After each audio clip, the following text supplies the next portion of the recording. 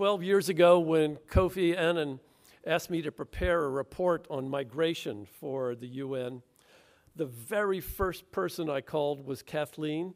She is famous for both her depth of expertise and her breadth of concern, and everyone in the migration community has been relying upon her for years and years and years. So, Kathleen, the floor is yours. Michael, you are, as usual, much too kind in your introduction, but uh, um, let me say what a very great pleasure it is uh, to be here and to uh, kick off this discussion on the role of the private sector in refugee resettlement. Uh, as, as you all know, refugee admissions are very firmly a government prerogative, but there is increasing interest, I think it's fair to say, um, in many parts of the world in increasing uh, the role of the private sector in the resettlement of refugees.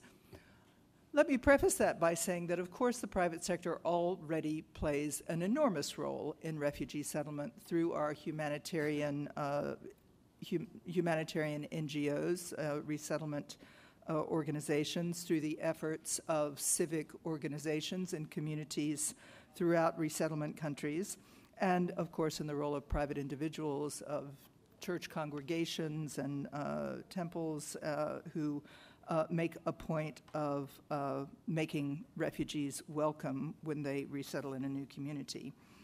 But there are uh, many avenues for expanding this role, and one that is drawing very great interest is the private sponsorship model, in which Canada has long been the pioneer since 1978, making it possible for individuals uh, coming together in groups or civic organizations to take responsibility for both the financial support and um, and the integration of refugees in Canada. And we are extremely pleased today to have uh, Mr. John McCallum, the Minister for Immigration, Refugees, and Citizenship Canada, who is going to um, talk about the potential of the Canadian model to be taken up in other countries. Minister McCallum, thank you very much for joining us. Great pleasure. Well, thank you very much, Kathleen, and good afternoon, everybody. It's a pleasure and an honor to be with you here at the Concordia Summit. But unfortunately, these are two crazy days, and I have to leave by about in about uh, 10 minutes. But nevertheless, it is a pleasure for me to be here. Partly I have to leave because I have to hear my boss give a speech in the United Nations, and it would be bad form if I missed that. But what I want to say is uh, three things uh, where I think Canada's experience can help. I mean, I think what we're trying to do is to resettle more refugees. I think not just Australia, US, Canada, the major ones, but try to expand that number. And I think some countries might need advice, which we are happy to provide, because I think one of the things that we have done that I hope is exportable is our privately sponsored refugee model. And just this morning, I made an announcement with uh, Filippo Grandi and George Soros, the, the three of us, the UNHCR, Mr. Soros, and the Government of Canada, have launched an initiative to try to export this model to other countries who may be interested. And so far, I, can, I know of 13 countries who have expressed an interest, and I'm hoping that more will become interested as we proceed. We will provide technical assistance and advice, and we will tell people not only what Canada did. Uh, right, but also what Canada did wrong. We've made many mistakes along the way, and so I think we know some of the pitfalls. But basically, I would say that you're way, way ahead of the game if you can engage your own citizens to help bring in and sponsor refugees rather than have them come alone or even worse, illegally. And in our country, this has worked very well with the Vietnamese boat people and more recently with the Syrian refugees. So well, in fact, that I'm probably the only immigration minister in the world whose major challenge is that I cannot produce refugees fast enough to satisfy all these private groups who want to take them in. So I think it is a model which I hope will be exportable to other countries. We are certainly keen to try. A second issue where we might offer um, guidance is we did set up a processing uh, processing centers in Jordan and Lebanon, where we did manage to process 25,000 refugees in the space of four months. And I think we did it well from a health and security point of view. So that model could also potentially be helpful to other countries. And the last point I want to make, because I know speakers aren't supposed to speak too long, is to talk about private sector support. Our project evolved into what one might call a national project where Canadians of all walks of life became interested, including the private sector, which contributed substantial sums of money. and the message I want to give you is that a dollar from the private sector in some ways goes further than a dollar from the government. And the reason I say this is that I, as minister, was acutely aware of the point that when executing this refugee program, at no point could we treat refugees better than we treat Canadians. I mean, we had support from Canadians, but that support could dissipate if Canadians got the impression that refugees were privileged. But on the other hand, we needed to support refugees to pay for very high rents in certain parts of the country where rents are high. But we didn't, as a government, want to give rent supplements to refugees where we don't give rent supplements to Canadians receiving social assistance. And that's where the private sector came in. They had a program of rent subsidies. They could do that, we couldn't. So I would encourage anybody from the private sector to think carefully about this. I know Mr. Soros has just committed $500 million today, so that's a good lead. Um, that's an amazing lead. But please bear in mind that often your dollars can go further than an equal number of dollars from the government. Thank you very much. Thank you very much, Minister. I'm, i wonder if I could uh, just follow up briefly on the on the question of uh, of costs which you've uh, addressed in, in terms of the, the money that the private sector can spend on, on services um, and um, benefits for refugees. But what, what does private sponsorship cost the government? I mean, there are things that only governments can do, and you've mentioned the hubs that were set up um, to, to process people for admission to Canada, um, the security screening, the health screening, and that, so, and that um, what, what does the government need to commit to in order to um, enable uh, and empower the private sector to participate in this way? Thank you. Well, government it pays the, we have two kinds of refugees government, government assisted refugees and privately sponsored refugees. In all cases, the government pays for the costs of processing, and in the, uh, and in the case of government assisted, the government will pay for uh, one year's income level at social assistance levels. Now, in the case of privately sponsored refugees, the government still pays the processing costs, but the individual, the people, the individual Canadians have to pay the transport costs and have to pay income support for one year. Uh, it, however, the government will provide language training. The government will provide uh, mentoring and assistance to get jobs. But the main difference is that the income support for the one year is paid by the private sector and, uh, rather than by the government. But I might also mention that we have an, a, a hybrid model, and this one might be of interest to other countries where the costs are split 50 50, so that the government will select the refugees from lists provided by UNHCR and the government will provide six months' worth of income, and the private person will provide the other six months, but the government will still provide the language and other training.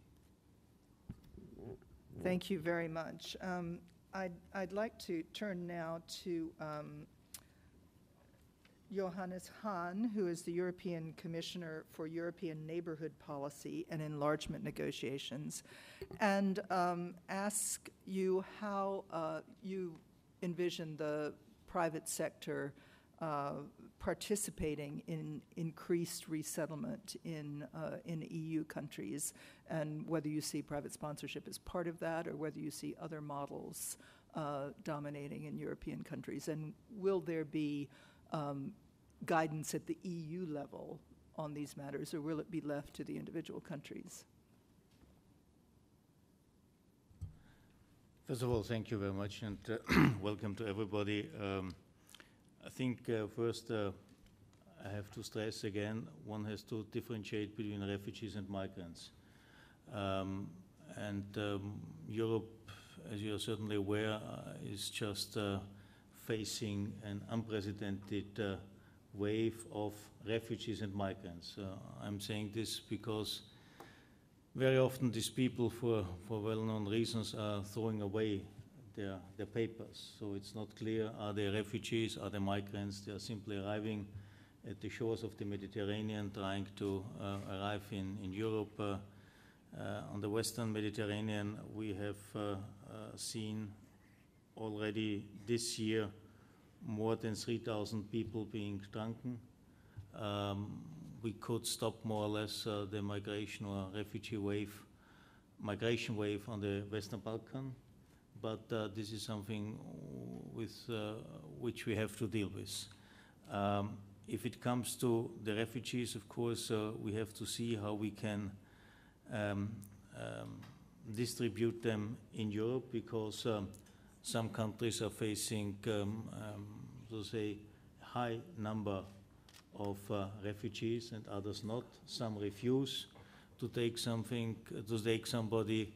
So this is a very, um, so to say, different uh, picture, and in, in some cases, I have to admit, it's not very satisfying. Uh, but nevertheless, uh, I would say the, the financial burden for those member states taking refugees is very high because we have also a very high level of, uh, how to say, um, understanding how to deal with refugees. Yeah.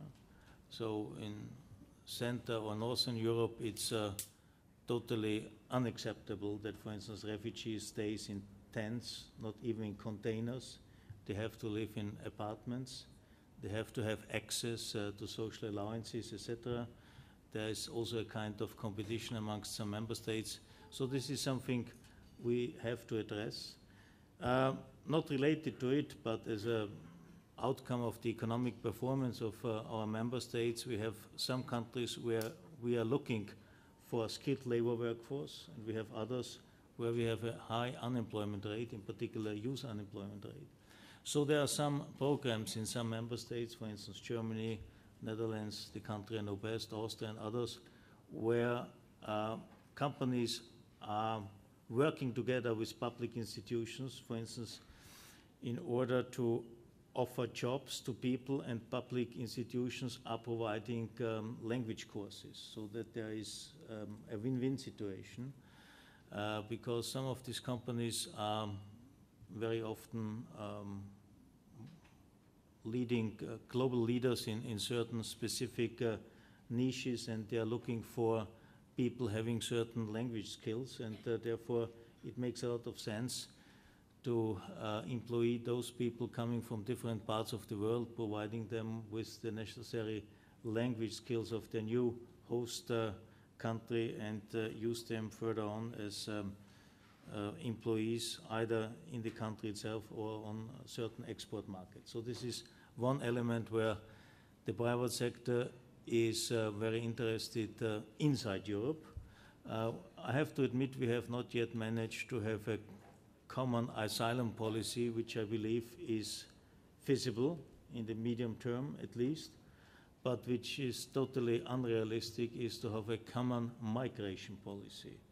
Uh, as I have said, uh, we have uh, different levels of employment, availability of um, workforce, etc it's not realistic to say Europe is looking for this kind of professional skills or that kind. From that perspective, we are far away. This about the internal situation. If it comes to the external, there we have two interests, I have to admit. Uh, both are related to each other. It's about stabilizing the situation and mitigating the pressure on us uh, in terms of uh, a further uh, increase of uh, um, asylum seekers, migration, migrants, etc.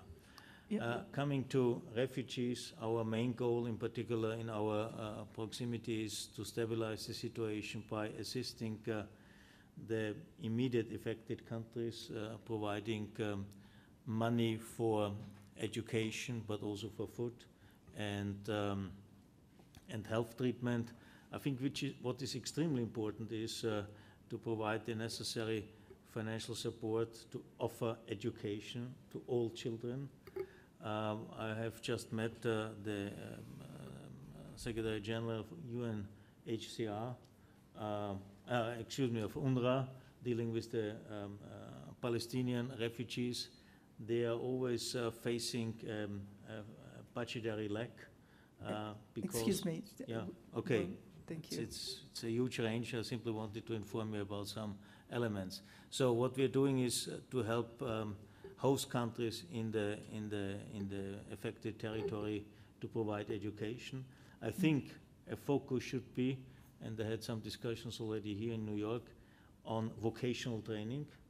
We are always uh, so far focused on the, so to say, basic education, but what is needed is uh, vocational training, which is in the interest of uh, business sectors. And uh, to conclude, we have just decided to set up uh, a European uh, uh, external investment fund to provide support to um, countries of origin of migrants, in particular in Africa. So um, the overall amount which can be raised is 44 billion euros, and this is only possible if the private sector is coming in, but it should be seen as a kind of seed financing that the public, the private sector is trying to invest in countries of origin in order to give people there already a perspective and not to force them to migrate. Thank So you. These are the different elements we can um, Thank you. I hope we'll, uh, I hope we'll have time to uh, come back in the discussion to uh, some uh, points about the extraordinary outpouring we saw from private citizens in Europe as these uh, waves of refugees started coming in in 2015 to, um, to respond to their needs and so on. But I, I hope we'll be able to come back to that. Uh, First, I'd like to turn to uh, Anne Richard, the Assistant Secretary of State for Population, Refugees, and Migration. Uh, PRM has a, a very close and, and uh, ongoing collaborative relationship with private organizations in the United States uh, to resettle refugees. And um, I'd, I'd like to uh, hear from you, Anne, how, how you can imagine that um, kind of collaboration uh, reaching a, a sort of new level um, as we begin to accept more refugees.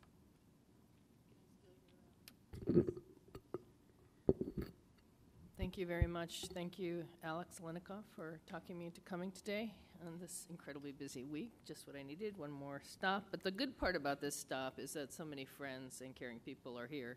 So, of course, I'm thrilled to see all of you. Um, um, and I also find this a very interesting setup. I'm sort of waiting for Cirque du Soleil to appear and do something, um, which you might consider for a future Concordia. Um, so you know that last week Secretary Kerry announced our goal of admitting 110,000 refugees to the United States uh, this upcoming fiscal year, which starts October 1st. And as Kathleen says, you know, the scale of what we're trying to do, the scale of the refugee flows around the world, and the scale of uh, what the U.S. Our, our piece of it ought to be, according to some, or could be, or has been in the past, um, you know, is, is greater than what we are doing right now. So, uh, what we uh, want to do is to increase efforts from all of our current resettlement partners and um, undertake creative problem solving and are open to new organizations jumping in as well.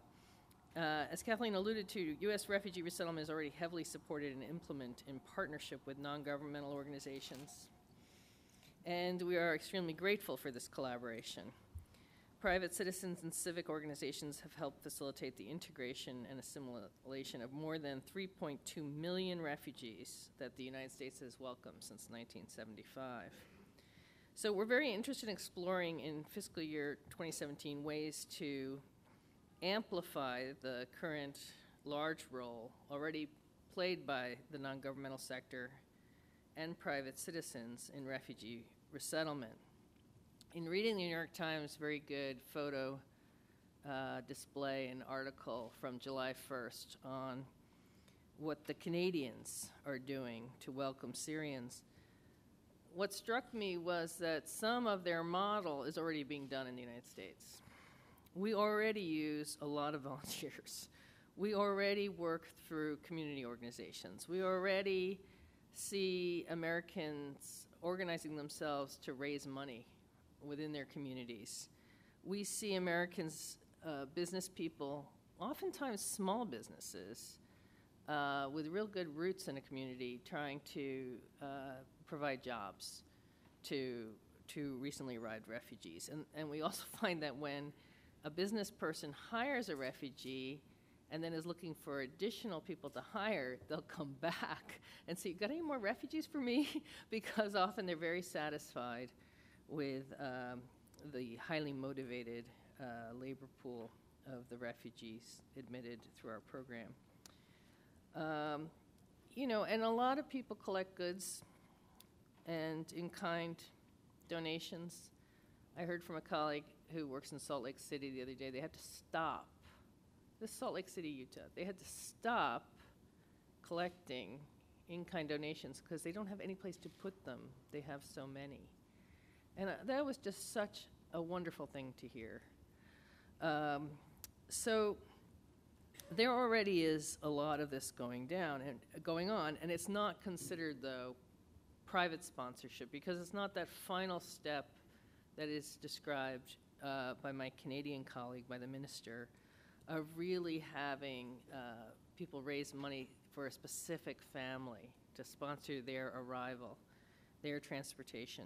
So we've been learning, and we want to learn a great deal from our Canadian colleagues, and are eager to benefit from the lessons Canada has learned and what it might do differently if starting its program today. And so that's why it's so refreshing that the minister is so comfortable talking about the good, the good and the less good from their experience. We have launched a dialogue with the Refugee Council USA, or RCUSA, on privately sponsored resettlement. We believe the principles that they, you, Melanie, are putting forward to guide additional private resettlement are a good foundation for further exploring this approach. So we will be continuing to work with Refugee Council USA and other organizations interested in private resettlement in the year to come. I would think in the short term, what we would try to do is to launch some kind of pilot to test whether this can be done and try to build some support for the idea.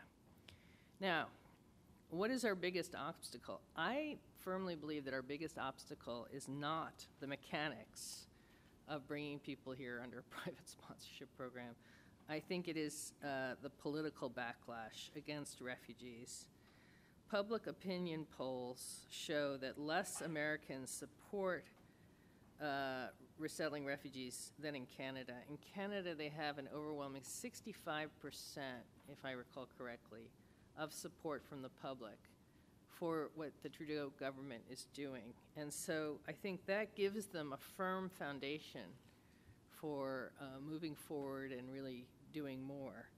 And um, that is where I think uh, the election year dynamic is not helping us, and where I'd like to see us all working together come through on the other side of the election by, uh, you know, educating more Americans about who refugees are and how they're, you know, innocent civilians, victims of wars, families who will make uh, great Americans. So let me stop there. Thank you Thank you very much, Anne. That's a really um, encouraging uh, set of, of remarks, both recognizing the role that the private sector has played and, and seeing uh, future prospects that may open this up even further.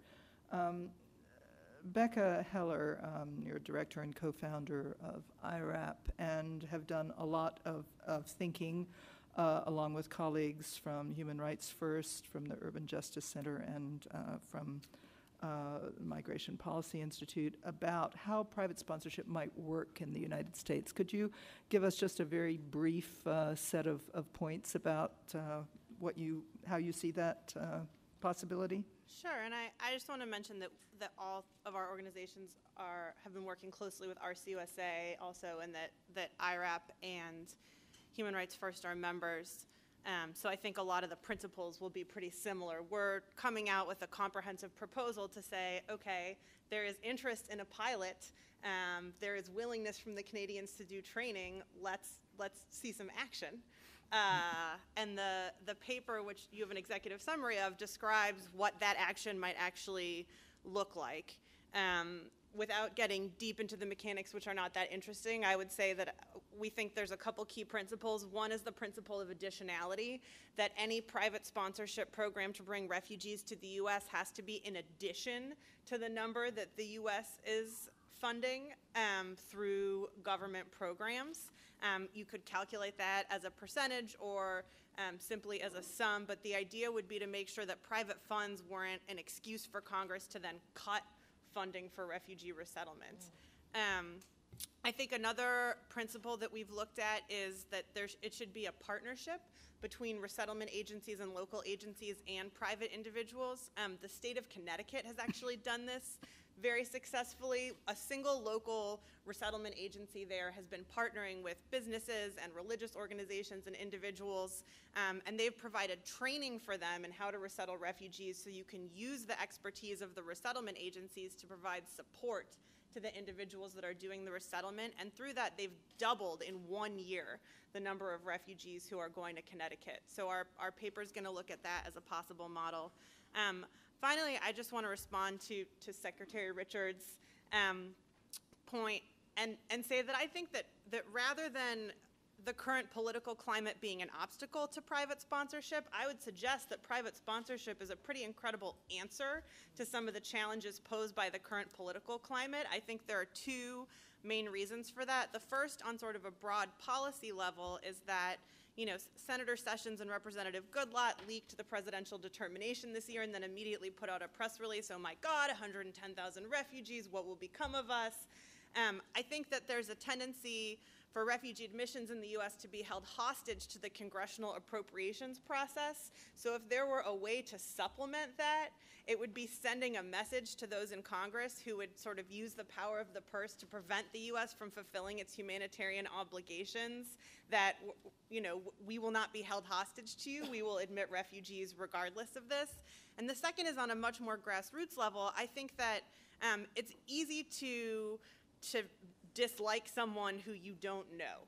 Um, and the, you know this concept of refugees as the other, the fact that um, so much of the awareness came from the photo of one three-year-old boy. I think that obviously, like the individual stories of refugees and individual familiarity is going to play a critical role in changing public opinion in the U.S. as well as other countries. I think you saw this huge swell of support in Europe because people couldn't avoid refugees in their communities. So I think that using a private sponsorship model in the U.S. as a way to create direct links between individuals and businesses and organizations and refugees will actually go a long way toward turning the tide of public opinion um, and creating more of a groundswell of support for refugees.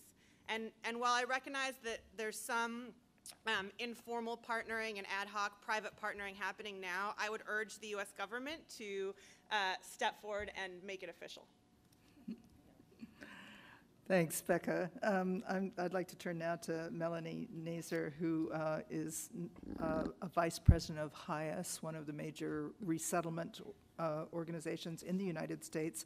And Melanie also uh, currently holds the chair of the Refugee Council USA, which is a consortium of resettlement agencies and other uh, organizations that, uh, that support refugees within the United States. And as Anne mentioned, uh, RCUSA has been very much, uh, very active in, uh, in recent months and really considering uh, the possibilities of private sponsorship, but more than that is one of the real engines of private sector engagement in many ways uh, with refugee resettlement. So Melanie, um, we look forward to hearing from you about how RCUSA works with a whole array of private organizations in the U.S. Sure. Thanks, Kathleen. Um, and thank you also just for all your years of guidance and expertise on all of these issues. Um, and thank you to Anne and the administration. Um, we, as RCUSA, are always calling for more, more refugees, more assistance. But in this political climate, which I think is quite challenging, the fact that this administration has increased admissions for the last two years, and is, this year is on track to actually meet that goal.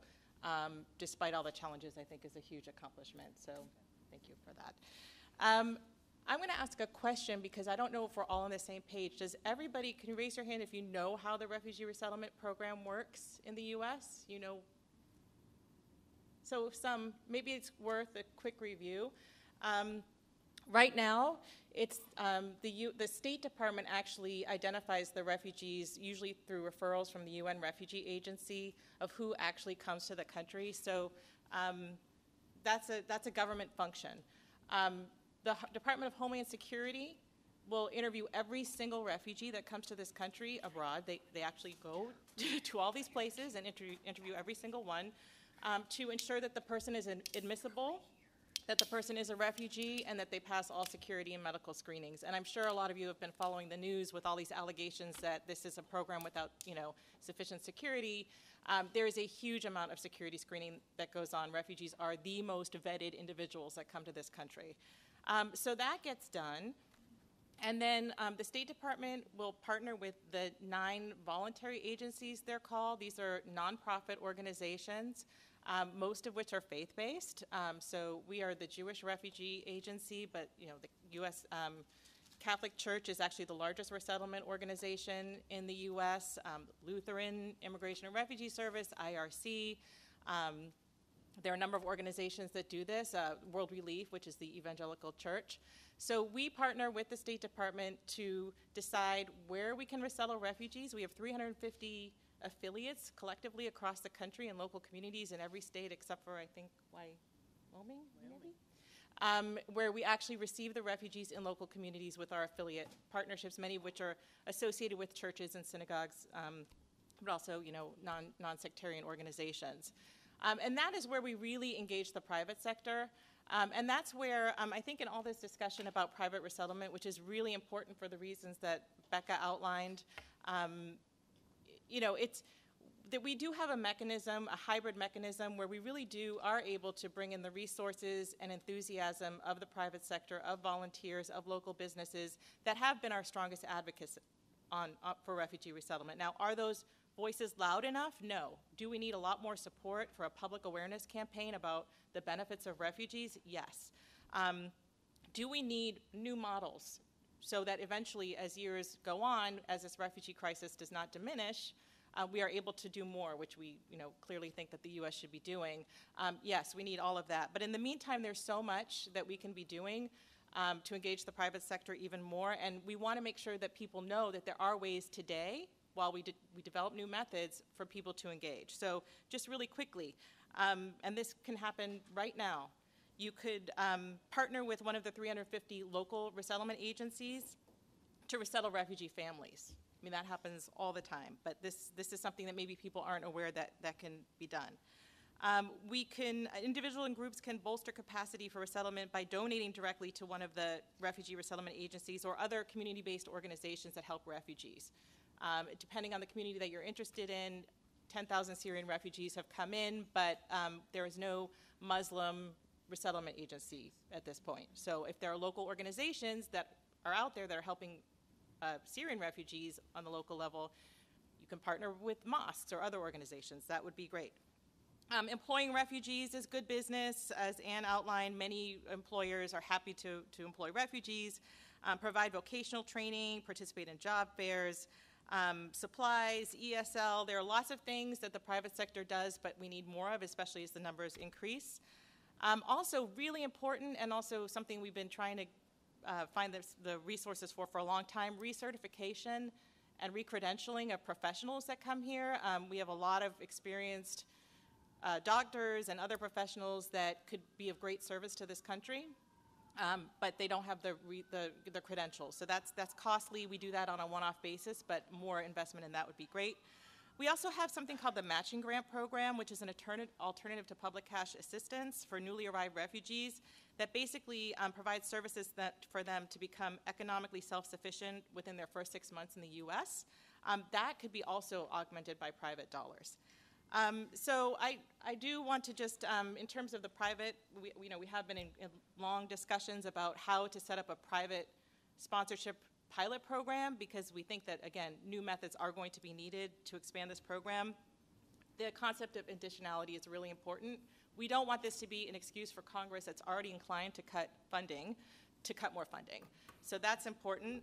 Um, we need to make sure that this program in, coordinates with the national resettlement agencies. We have a lot of monitoring. Yeah, we have a lot of monitoring. We have a lot of reporting.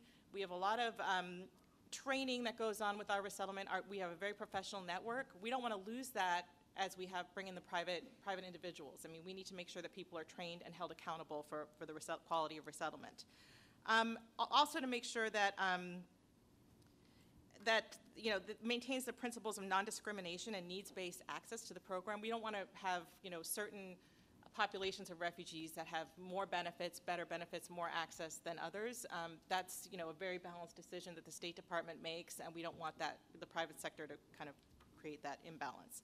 So those are, those are just some of the things, and I do want to say before wrapping up, um, in, in the talk of all the private sector investment in refugees, I want to point out that um, Interaction, which is the coalition of humanitarian organizations, just recently announced that 30 of its members, including HIAS and others, um, LIRS, um, will be pledging $1.2 billion in the next three years to refugees and migrants. So we also um, mobilize a lot of private resources, um, and I guess I'll leave it at that. Thank you very much, uh, Melanie, for giving us, uh, giving us that overview of the U.S. program. And as you probably know, the U.S. resettles more refugees than um, any, any other country in the world, and in most years, more than all other countries put together. I just want to make uh, two points, um, and I, I did not make opening remarks uh, because I knew that Minister McCallum had to leave, but let me just make a couple of points which is that there, first of all, there are currently five countries in which private sponsorship programs operate. Um, they are New Zealand, Canada, of course, also New Zealand, Australia, although Australia's program is not additive. Privately sponsored refugees are subtracted from their overall ceiling. Um, New Zealand, Argentina, very small program, and 15 of the 16 German Länder have private sponsorship programs. Ireland and Switzerland have experimented with private sponsorship on a family basis, um, but time limited, and they're no longer in operation. So there is uh, the Canadian experience dwarfs all others, uh, and there is a great deal to learn from that.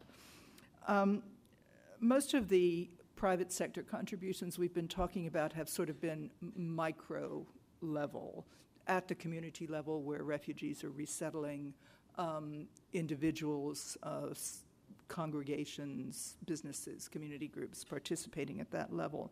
But I also want to point out that I think um, that there is a, an important role uh, at the macro level as well for private companies and, and for philanthropy, um, particularly in the United States. One of the big questions about costs has to do with health insurance for refugees. And uh, that for a private sponsor to take that on is really a, a, a huge expense in the United States.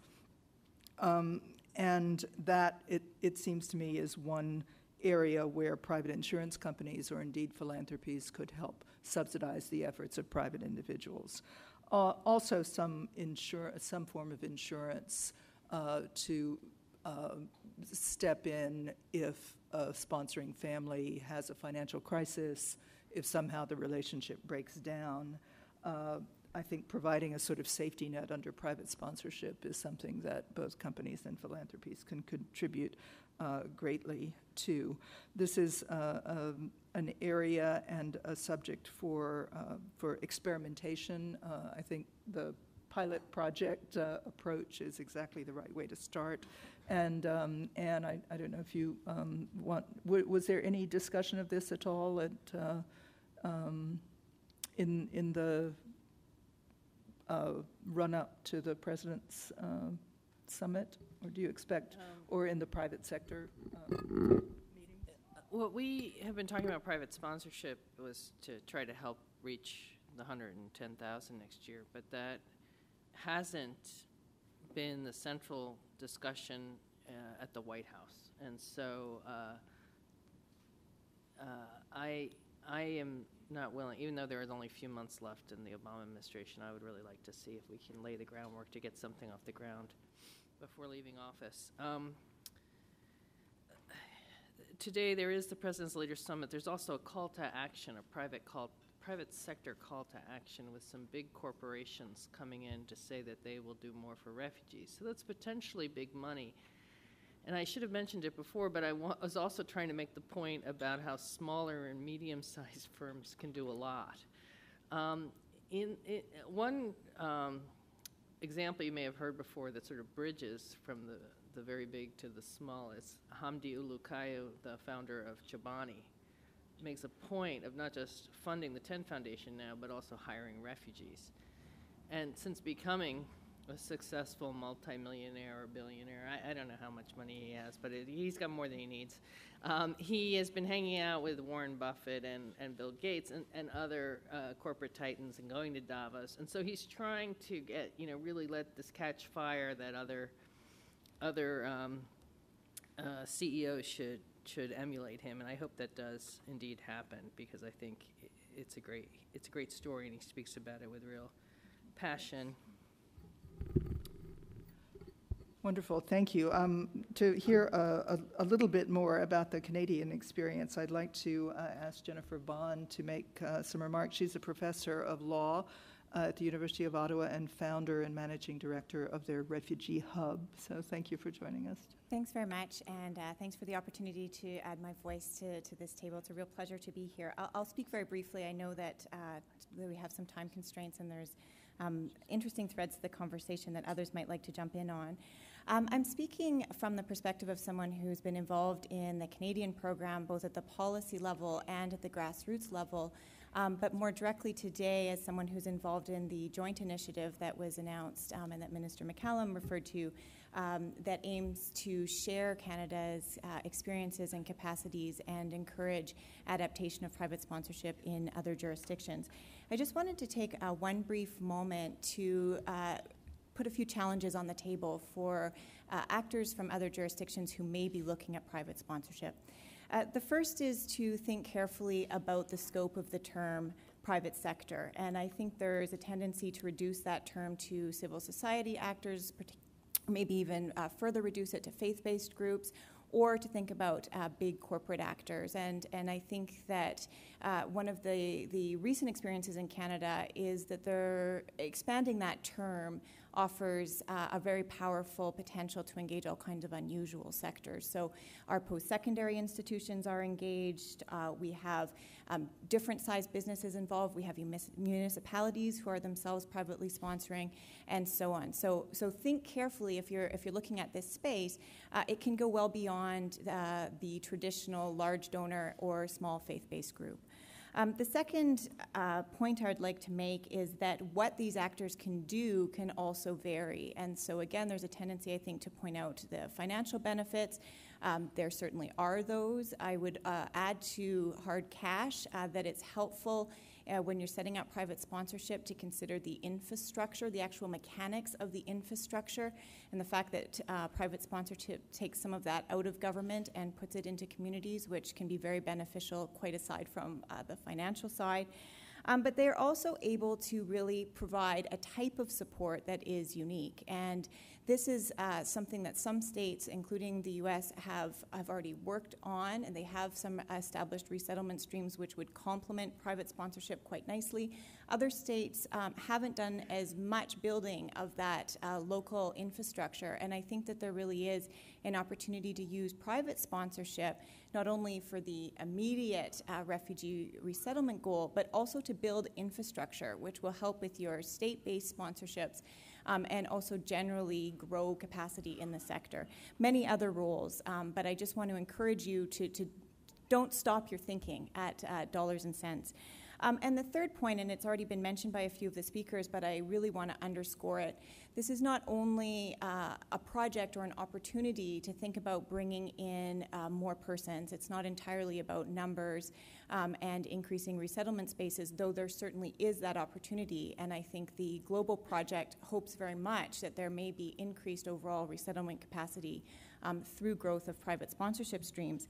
But it's also a very powerful tool to impact that bigger narrative. And, and I think that Becca made some, some key points here, but certainly the Canadian experience has been that by having a decentralized system, by having refugees that are very much brought in by local persons, supporting by local persons in our communities all across the country, that that has facilitated government action. And, and I, I recognize a bit of a chicken and egg situation, but I think that um, when speaking about Canada's recent initiative, very important to note that at a time when our government was not taking a leadership position on this file, Canadians were mobilized by the tens of thousands because they had a vehicle. So, providing that vehicle is critical. That then provides a way for this expression of support, which in turn can facilitate bolder political engagement. Um, so, I would encourage you to think about that in its um, multiplicity and, and sort of nuanced way. Uh, again, I want to say that I'm delighted to see um, the support of OSF, UNHCR, and Canada to think about this engagement. If there are other states either who are quite seriously considering private sponsorship or who aren't and are really just having some questions. Um, the goal of the initiative is to try to provide more, more information at one end of the spectrum and also provide uh, much more support in whatever form makes the most sense. So we look forward to working hopefully with many of you uh, in coming weeks and months. And uh, again, I'm delighted to be here and have my voice in the conversation. Thank you. Thank you very much for that and, and for pointing out, I think, especially that it's not just about the numbers. In addition, about the broader public engagement, I think it's also about quality of resettlement. And there have been some uh, study of this in, in Canada that shows that refugees are actually privately sponsored rather than government sponsored um, have better outcomes uh, over over time, at least in the first sort of five years after resettlement. So it's it is it's numbers, it's quality, and it's um, part of uh, building public support for, uh, for refugee programs. Um, I am very sorry to say that we are running out of time. We have maybe one, uh, one or two comments, very, very briefly, if I'm sorry to put that constraint on you, but could we start here and, and there and just one point? Sorry, very briefly. Um, my name is Julia Onslow Cole. I'm head of global immigration for PricewaterhouseCoopers. Um, thank you very much, Michael and Kathleen, for chairing these very interesting uh, sessions. PwC were very privileged to work with UNHCR and on, on a series of roundtables we've been holding with employers across Europe on employing refugees. And we've had these sessions in, in Brussels and Copenhagen. And it was a really excellent way to get employers together who are actually having really uh, meaningful schemes and employing a lot of refugees. And the thing that we discovered, and there will be a, a, a full report, but one of the things that I think, and we, it was really came out of all these meetings, is that business are really keen to engage, but often they just don't know how to.